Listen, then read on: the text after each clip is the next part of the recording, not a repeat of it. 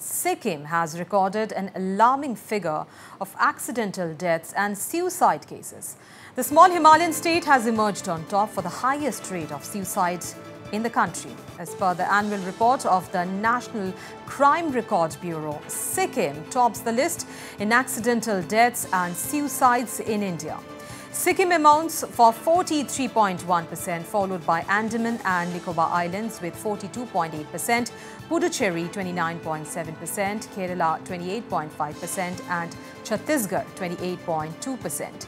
The rate of suicide is the number of suicides per 1 lakh population and the national average stands at 12.4% with a total of 1 lakh 70,924 suicides in the country. Sikkim reported 293 suicide cases in 2022, 27 more cases than in 2021, an increase of 10.2% in the suicide rate.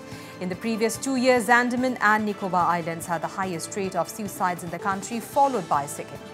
As per the NCRB report on ADSI, males with 226 suicide cases against 67 by women dominated the highest number of suicides in Sikkim and unemployment with a total of 83 suicides was the biggest reason for suicide in the state.